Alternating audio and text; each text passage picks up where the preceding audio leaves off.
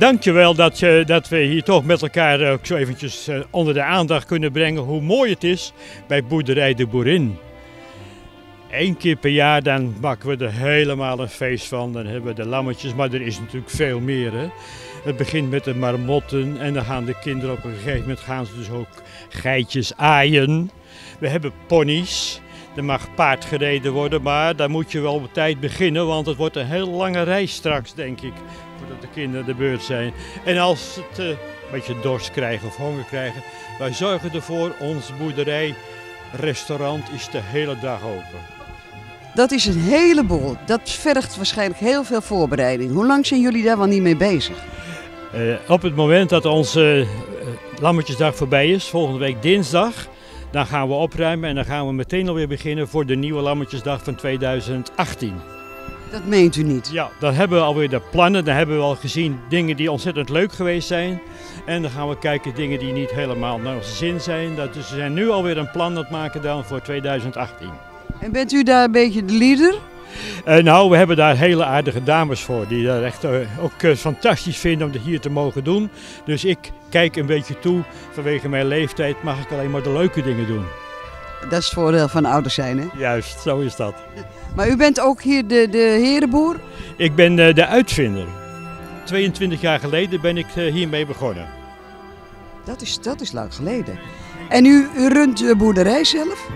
Uh, ja, twee zoons die runnen de boerderij. Uh, Hendrik Jan is ermee begonnen en Elmer heeft het vorig jaar overgenomen. Die is nu 32 en die heeft natuurlijk een grote verantwoordelijkheid, maar hij kan het aan. En hij zet de traditie voort. Hij doet de traditie inderdaad, want uh, op deze boerderij, daar zijn al boerderijen gebouwd al voor 1500.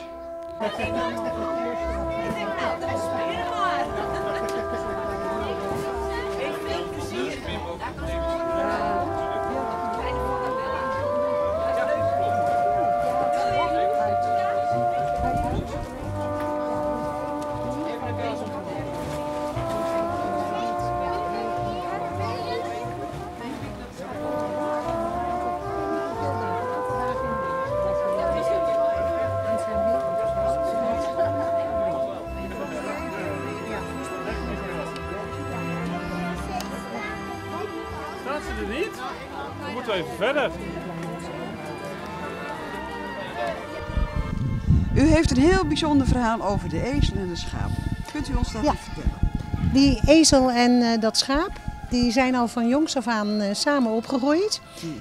En die mag je niet uit elkaar halen. Als je dat doet, dan wordt er vreselijk gehuild. De ezel staat aan één stuk door te balken. Het schaap staat te blaten. Dat doen we dus ook niet. Dus ze gaan altijd samen op reis. Het zijn echt gezworen kameraden. En hoe lang is dat al zo bevriend? Nou, dat is van jongs af aan. En die ezel, ik weet niet precies hoe oud hij is, maar ik weet dat het al jaren zo is. Het is een, echt een, eh, een hele leuke, echte vriendschap tussen twee dieren. Dus en die ezel is al van, van jongs af aan hier op de boerderij? Nee, die is niet hier op de boerderij. Die zit bij een eh, bevriende boer.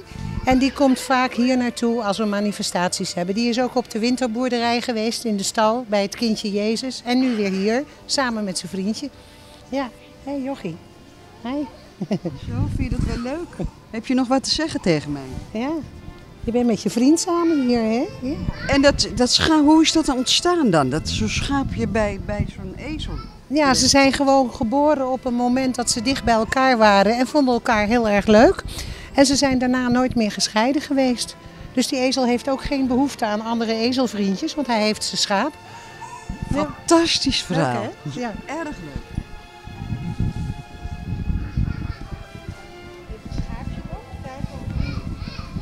Oh, dan moeten we even Ach,